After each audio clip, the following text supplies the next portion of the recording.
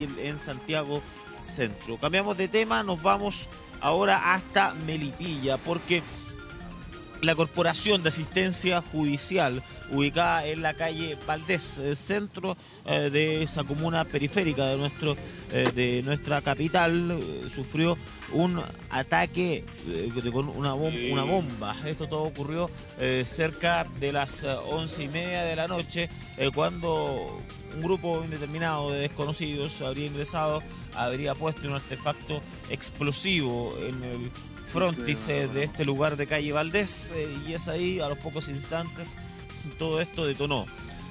Inmediatamente Carabineros eh, tuvo que cerrar varias cuadras eh, del centro de Melipilla, varios lugares y inmediatamente encontraron que algunas propiedades, incluso vecinas a la Corporación de Asistencia Judicial, se encontraba oficina pública de abogados.